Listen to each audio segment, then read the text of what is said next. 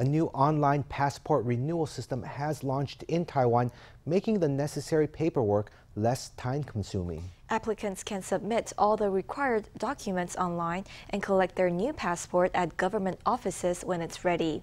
The system can be used by anyone aged 18 and up, though it does require the user to have a citizen digital certificate.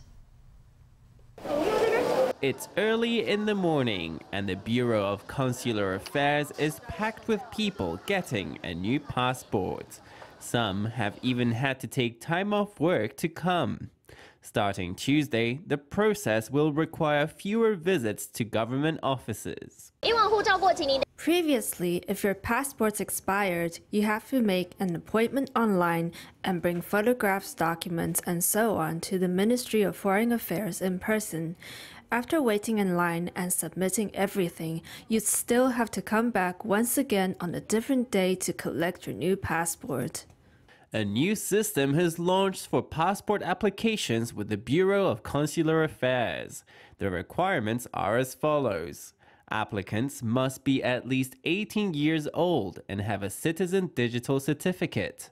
They must also have not lost their passport in the past 10 years and require no endorsement stamps.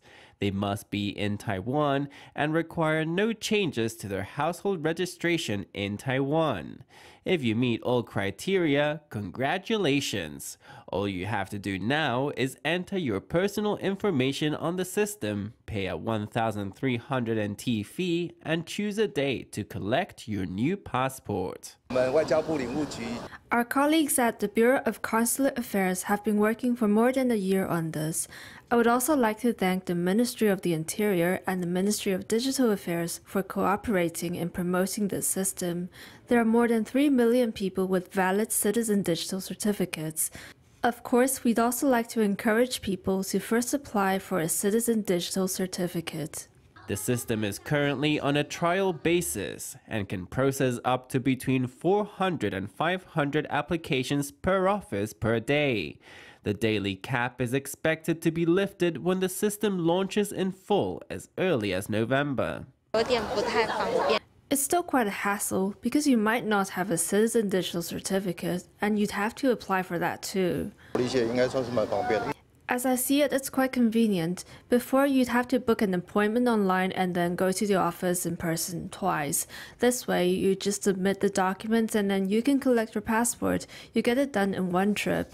The online system does away with unnecessary trips to submit documents and can be accessed right from home, similarly to the tax filing system.